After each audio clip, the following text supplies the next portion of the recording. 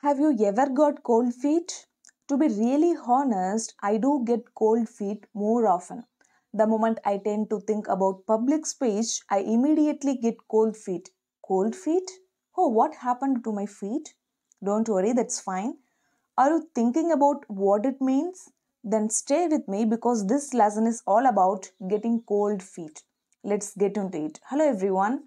Welcome back to one more exciting lesson and in today's lesson we are going to be learning when and how would you use this idiomatic expression getting cold feet. Now what does it mean actually? If you are too scared or when you are extremely nervous you could use this beautiful expression getting cold feet. Hope you got it. Now what is the meaning of this idiomatic expression? Getting extremely nervous. Alright to understand this in a better way, I bring to you three example sentences that would help you to grasp the concept clearly. Alright, let's get into it.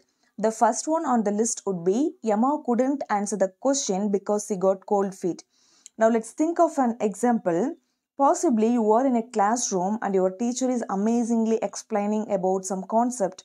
All of a sudden, your teacher points at you asking a question and you are not able to answer the question properly as you are getting cold feet. That means you are really really terrified on how to answer the question all right? So that's when you end up using this idiomatic expression in real life situations as well. Do try it out.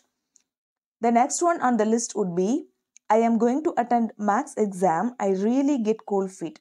Again let's think of a scenario. Possibly you are preparing for your max exam maybe you are not good at maths. So you are getting cold feet on how to make it successfully all right so that's when you end up using this idiomatic expression get cold feet. So how would you explain in a sentence?